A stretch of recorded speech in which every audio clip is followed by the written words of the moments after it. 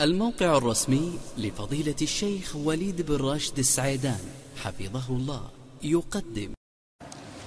صلى الله إليكم. قال رحمه الله تعالى فصل ويستحب التثليث في غير الرأس.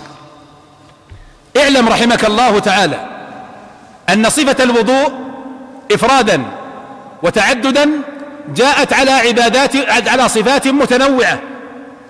والمتقرر عند العلماء أن العبادات الواردة على وجوه متنوعة تفعل على جميع وجوهها في أوقات مختلفة.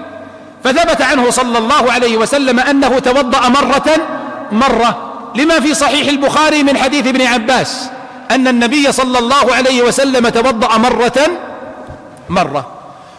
وثبت عنه صلى الله عليه وسلم أنه توضأ مرتين مرتين في كل الأعضاء لما في صحيح البخاري من حديث عبد الله بن زيد أن النبي صلى الله عليه وسلم توضأ مرتين مرتين.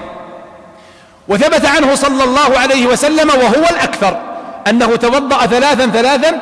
لما في صحيح مسلم من حديث عثمان أن النبي صلى الله عليه وسلم توضأ ثلاثا ثلاثا.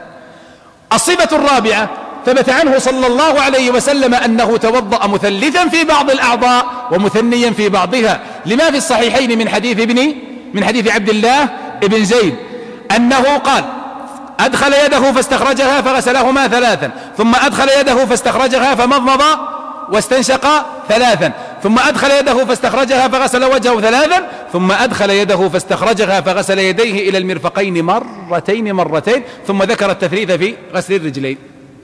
إلا أن هذا الإفراد والتعدد إنما يقال به في غير الرأس لأننا رجحنا سابقا أن السنة في الرأس مسحة واحدة.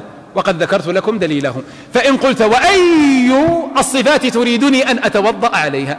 أعلى الإفراد أم التثنية؟ أم التثليث؟ أم التنويع بين التثليث والتثنية؟ فنقول أي صفة تختارونها؟ عندنا قاعدة.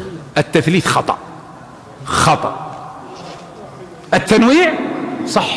لأنني قلت لكم قبل قليل أيها المسلمون اتقوا الله فيني أن العبادة التي وردت على وجوه متنوعة تفعل على جميعها في أوقات مختلفة فتستطيع تطبيق السنة من كل وجوهها. فمثلا تتوضأ للفجر مرة مرة وللظهر مرتين مرتين وفي العصر ثلاثا ومرتين وفي المغرب هكذا. فتنوع لأن هذا التنويع يجدد نشاط النفس ويحيي السنة ويحفظها من النسيان.